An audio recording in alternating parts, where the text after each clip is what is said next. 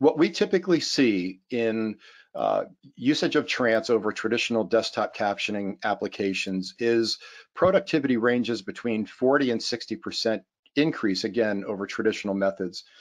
The primary uh, means that this improvement is achieved is through, again, the speed and accuracy of our time synchronized automated speech to text.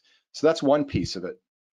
Then when you factor in the enhanced captioning features of Trance, some of which we showed in the demo, like the presets, the captioning conformance, the advanced user interface, then the improved workflow, productivity gains can increase even beyond, again, that 40 to 60%. But that's, that's what's very typical and common with customers using the tool today.